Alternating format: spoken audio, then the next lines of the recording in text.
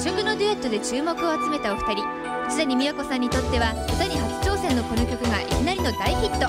戸惑いながらも嬉しさを隠しきれないようです。来年はもっと本格的に歌に取り組んでいきたいと語ってくださいました。今日は大内義明さんと息の合ったところを聞かせてくださいます。